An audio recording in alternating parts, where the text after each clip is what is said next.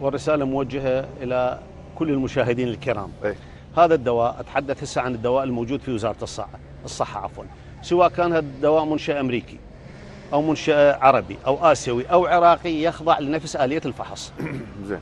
نفس آلية الفحص. دواء فعال وآمن وسليم. هاي المعايير الثلاثة.